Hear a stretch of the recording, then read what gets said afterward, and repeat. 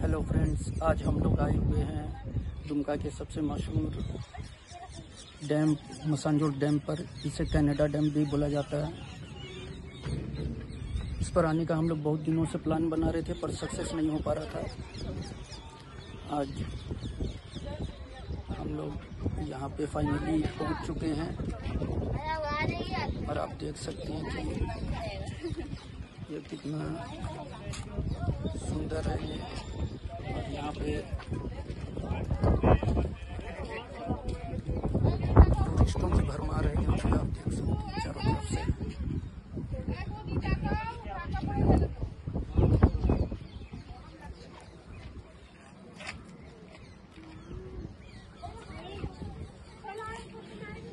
ये दुमका और सिवड़ी के बीच में स्थित है। यहाँ से आपको वेस्ट बंगाल का सिवड़ी 35 किलोमीटर पड़ेगा। आप देख सकते हैं ये कितनी सुंदर जगह है।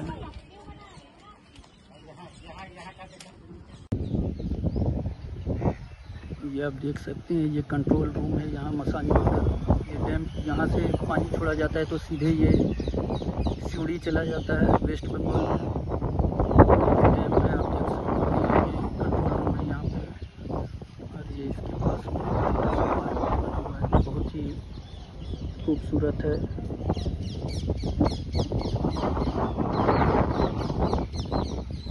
आप देख सकते हैं आगे आगे भी जाकर आपको दिखाएँगे कि ये किस तरह का है और किस तरह बना हुआ है इसमें कितने गेट हैं ये सब आपको अभी आगे वीडियो में देखने को मिलेगा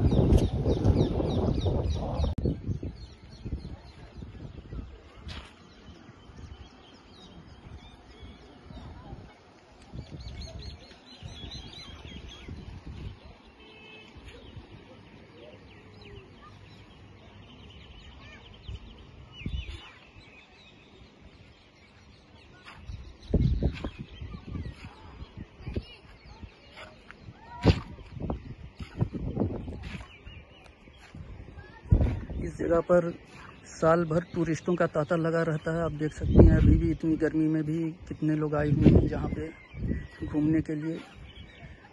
और सबसे ज़्यादा टूरिस्ट आपको अक्टूबर से लेकर फरवरी के महीना तक में मिलेंगे। उस वक्त मौसम अच्छा रहता है, ठंडे का मौसम रहता है। तो उस वक्त में बहुत ज़्यादा टूरिस्ट यहाँ पे होते हैं और सबसे ज़्यादा टूरिस्ट दुमका के किसी भी टूरिस्ट स्पॉट पर वेस्ट बंगाल से ही आते हैं, क्योंकि ये बंगाल से दुमका का वेस्ट बंगाल से बॉर्डर लगा, लगता है। इसलिए सबसे ज़्यादा टूरिस्ट यहाँ पे वेस्ट बंगाल से ही आते हैं। और ये सबसे पुराना और सबसे फ़ेमस टूरिस्ट स्पॉट भी है आसपास के जितने भी शहर हैं, सब जगह के लोगों के लिए। सबसे पुराना और सबसे फ़ेमस टूरिस्ट स्पॉट है। फ्रेंड्स जैसा कि आप जानते हैं कि दुमका मयूराक्षी नदी के तट पर स्थित है तो ये डैम भी मयूराक्षी नदी पर ही बनाया गया है और इस डैम की ओपनिंग में ही हो चुकी थी और तब से ये डैम यहाँ पर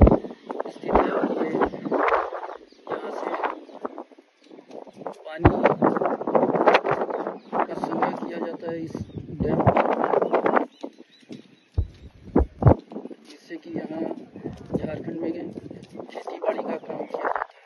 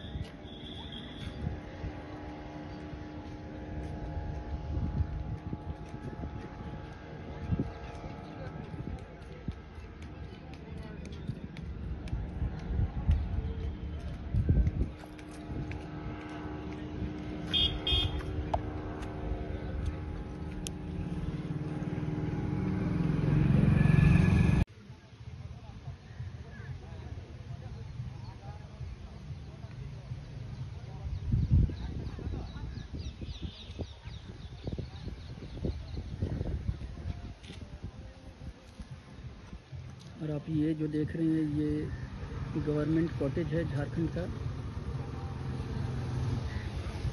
ये बहुत पहले से जब से ये मसन जो डैम बना है तब से ही ये यहाँ पर बनाया गया है गवर्नमेंट के द्वारा।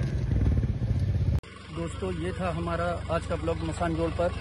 आप लोगों को अगर हमारा ये ब्लॉग पसंद आया हो तो हमारे चैनल को सब्सक्राइब करें और हमारे वीडियो को लाइक करें, जिससे कि हम इसी तरह का अच्छा अच्छा और नया नया ब्लॉग बनाकर आप लोगों के सामने लाते रहें और हमारा साहस बढ़ता रहे कि हम लोग अच्छे अच्छे ब्लॉग बना सकें।